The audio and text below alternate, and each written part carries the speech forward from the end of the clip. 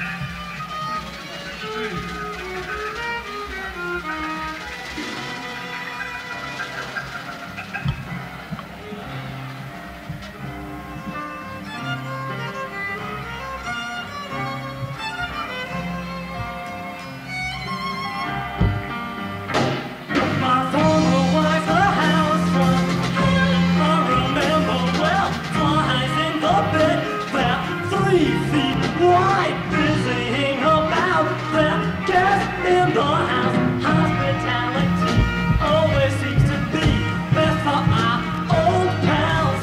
So my daughter's in trouble. I happen to know later left his house. La la la, go from good. I'm from over husband, busy with the food.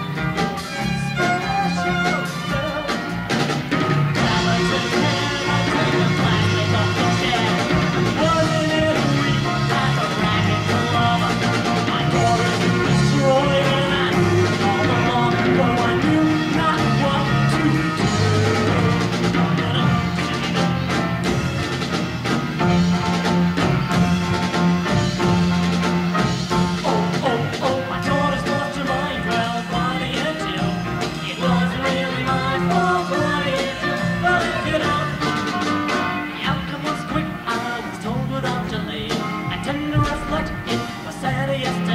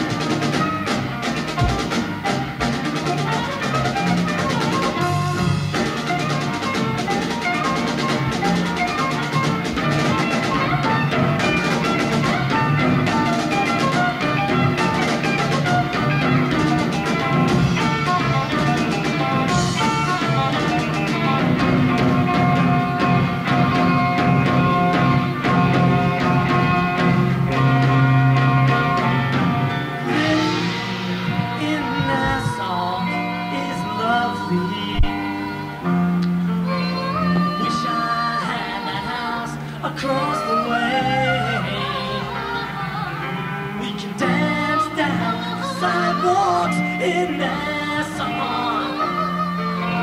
Happy and living for today.